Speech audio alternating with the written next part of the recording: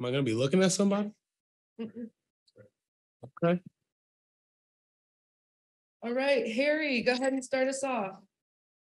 Hey Mo, Harry Mack from the Bookies Basement. How are you? I'm doing excellent, and you? Love to hear it. Doing doing good myself.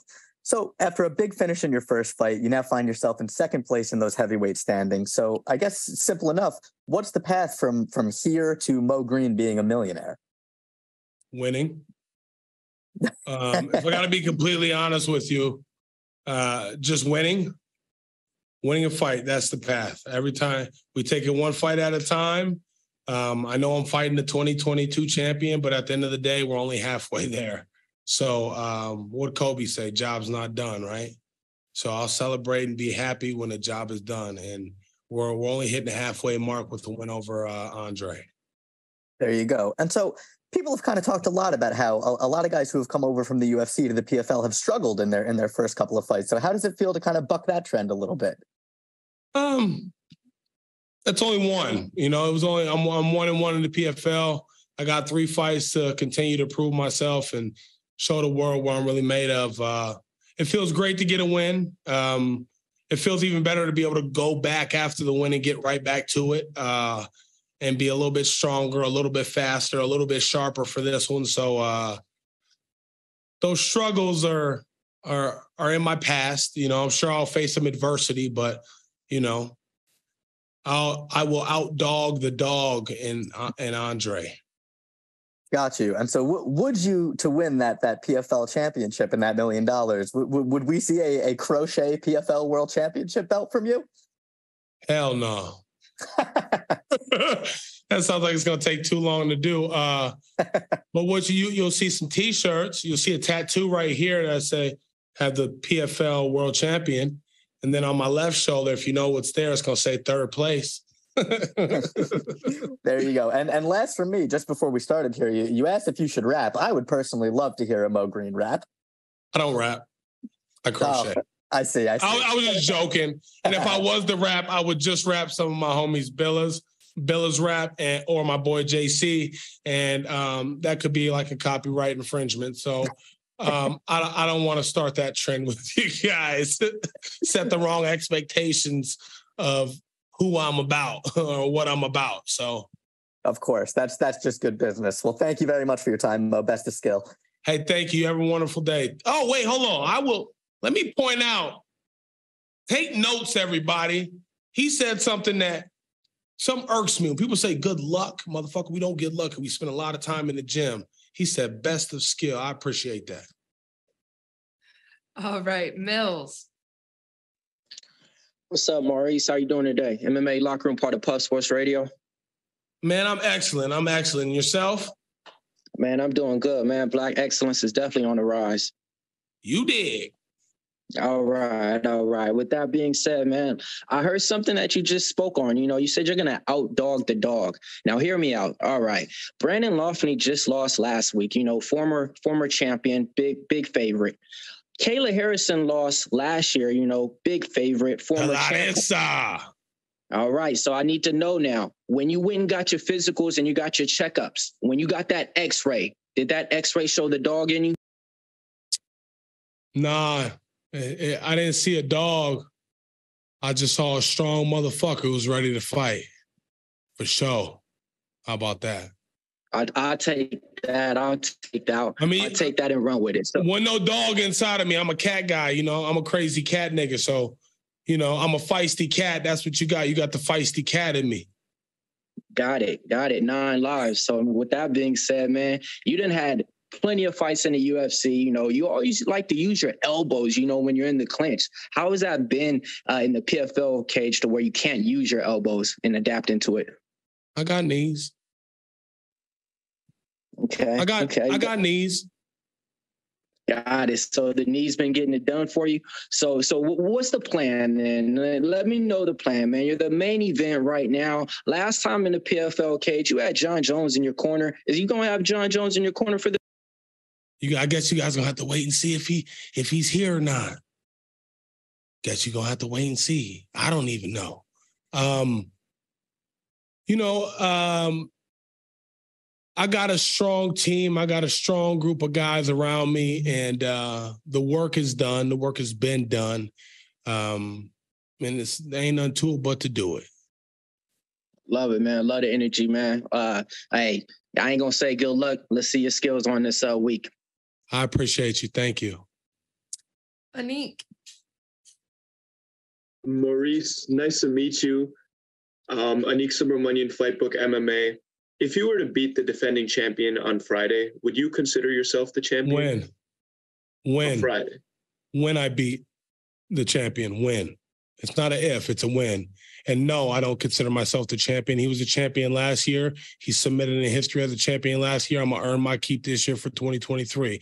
That being said, we're only halfway there to the goal. I still got two fights left. Awesome. And you've been training partners with Jon Jones for many years. What's the biggest lesson you've learned from him? And will he be in your corner Friday night? You're gonna have to see and if he'll be there. And um the biggest lesson I learned, man, just being being able to be side by side with him through this whole process, you know, a camp and a half really. Um, I just saw his process. You know, as we got closer to the fight, I saw his mental. I saw his processes he went through. Some things that you know not everybody gets to see, and I and I was one of the guys along with some of the some of our other training partners who've been putting the work in uh, in the small group of uh, great yeah, great heavyweight men that we got. Um, and we and we saw him change, and we saw um, him go out and and conquer even though everybody thought Ciryl was this and that, he demolished him. He finished him. And uh, I have confidence in knowing that um, even if I, even if a little bit of that rubs off, rubs rubs off on me as it has, I'm fucking all these guys up. Awesome. Excited to see you fight on Friday.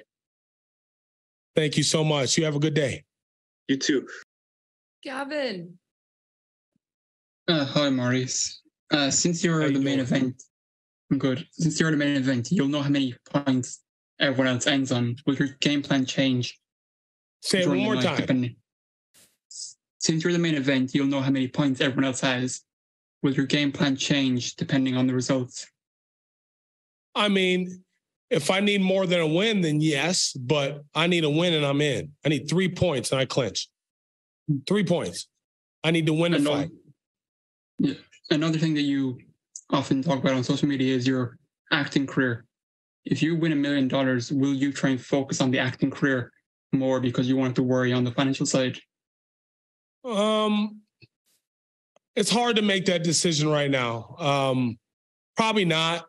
You know, when I win the million dollars, um, the first person I'm going to call out is Francis Ngannou because that's what makes sense at that point in time. Um, and then I'll prepare for Francis with Jon, um, and you know, we'll hopefully see that happen. But right now, I'm just focused on Andre and getting through Andre, and then uh, going to Madison Square Garden back home in New York uh, for the playoffs. That's it, man. I, I try not to look ahead of and think about, well, this could happen and that, could- because the reality is, if you don't win the next fight, you don't make the playoffs. You don't make the playoffs, you don't get an opportunity at the championship. You don't win the championship, there's no Francis Ngannou fight. So um, I'm just focused on the task at hand, taking it one fight at a time and enjoying the journey with the PFL. I'm happy to be here. Thanks for your time. Thank you. Uh, Corey. I'm uh, Corey from Tunnel Vision Sports here. How are you doing today?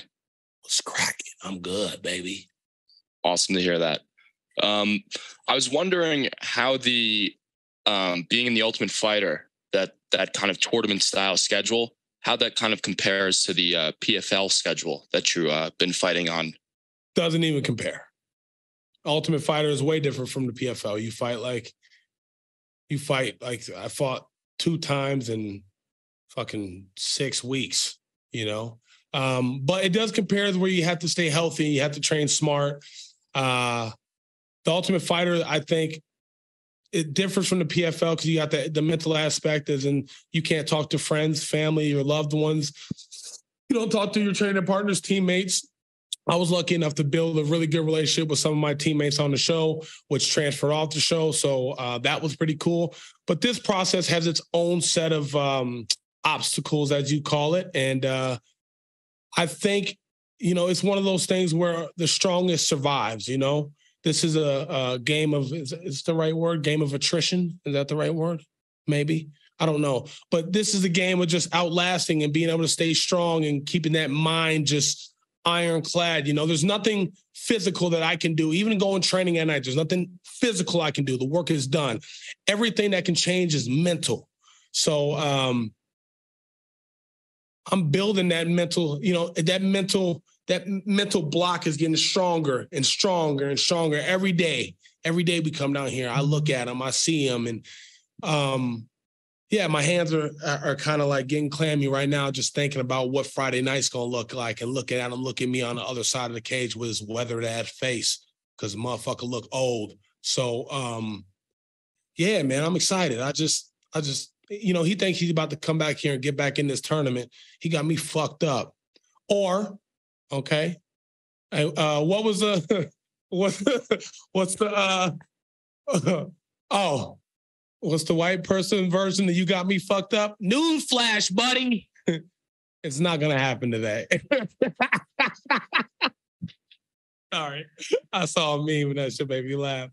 Go ahead. That's all from me today. Thank you so much. You're the man. I uh, look forward to seeing you perform on Friday night. Hey, thank you so much. You have a wonderful day. Thanks for your time. All right, Marty. Hey, Maurice, how's it going, brother? Man, I'm doing awesome. Just taking it all in, staying focused, staying sharp. That's it. How about nice, you? Nice, I'm doing well, thank you, sir. We we know Ant obviously likes he likes the power. He, has got a few knockouts in his last recent fights. We know you've got knockouts on on your on your uh, on your record as well. Um, you're not going to give us your game plan, but are you going to entertain a stand-up striking fight with with him? What's and who do you think Yeah. has the power advantage? Man, you know I can't give you that. I'm a win. At the end of the day, I'm a win. Um, I will tell you this. I really don't give a fuck what he has done. It really doesn't matter to me. Um, I have confidence in knowing I've done the work. I've been in the gym. I lifted the weights. I put on the, the size correctly. If you go back and look at me in this arena last year, I weighed in at 238 pounds. I came in on short notice. A lot of you don't know I lost 10 pounds during fight week. Okay. And I gave Goltsov a hell of a time, even though he was on, he was tired. You know, he beat Goltsov. Okay. He beat Goltsov because he outdogged Goltsov. That's what happened. He has that dog in him. He outdogged Goltsov. What do you do when I know what you're going to do? I know what you want to do, and you can't fucking do it. What are you going to do? And we're going to see on Friday, you know? Um, I don't like to talk too much shit. I just have confidence in the body of work that I that we've put in with uh from Jon to the coaches to the fucking all the heavyweights that are in the room with us, uh, that work with us, that are that are just been dedicated to each other for so long. Um, I just I don't care that he's the champion. You know, I'm coming in here like I'm the champion. And uh, it's a championship mindset. And I, I'm just gonna keep proving all you fucking doubters wrong. That's it. Love that. Love that. And the last one from me. How how is it with yourself and obviously your buddy Jorgen on the same on the same card? Do you enjoy being on the same card as your as your training partners? Yeah. Yeah, your me and Jorgen is cool. I wouldn't. I mean, he came in for you know for a camp. He wasn't trained with us full time, full time. I'm talking about the guys that've been grinding with us for three straight years. Um, it just is what it is. If I got to be honest with you, like we we understand what this tournament brings, right? We we we get what this tournament brings, and when you got friend people, I mean, everybody's cool. I mean, I'm cool with Andre. It's not like I I hate the guy, you know. It's not like I don't like him. You know, we have families to fight for. We have kids. We have, you know, everybody wants a house. Everybody, you know, we want these nice things. So to get those nice things, in the words of fucking Marshawn Lynch, I got to run through a motherfucker face. So that's what I'm gonna try to do. Look forward to seeing you on Friday. Thank you. All right, Maurice, thank you so much. Appreciate your time today. We'll- Yeah.